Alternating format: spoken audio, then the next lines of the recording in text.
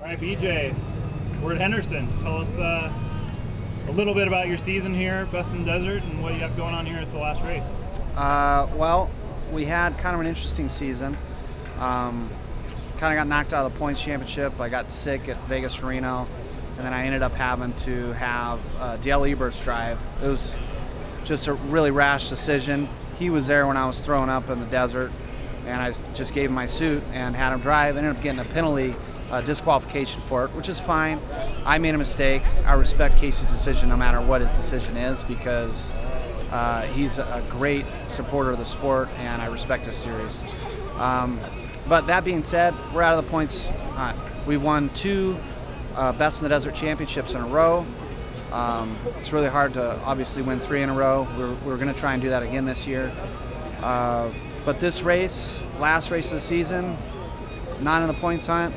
Um, not obligated to do well. Not uh, I don't have as much pressure to do well here from from sponsors as I usually do.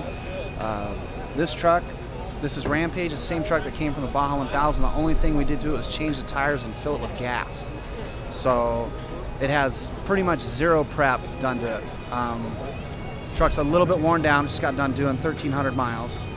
Uh, all the other trucks here are fresh with fresh motors and fresh powertrain. So we'll see how we do. You know, it's it's nice to show up to this race. It's in my hometown, and I'd like to win it.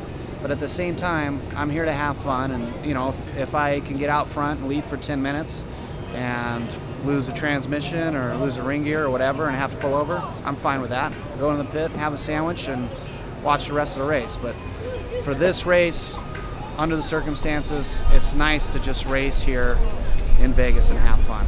How did you qualify? Qualifying went okay. Uh, this truck's set up a little bit taller for Baja. Um, we haven't changed any of that, so the qualifying course had a lot of uh, 180s.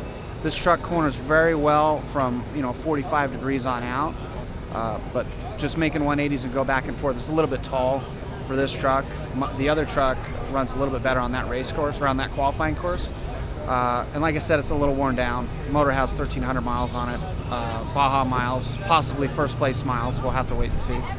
Um, but uh, I'm just excited to be here. I love racing, you know, right outside my shop, my house. Vegas is 20 miles away uh, from my house, and just happy to be around, uh, you know, everybody from my hometown.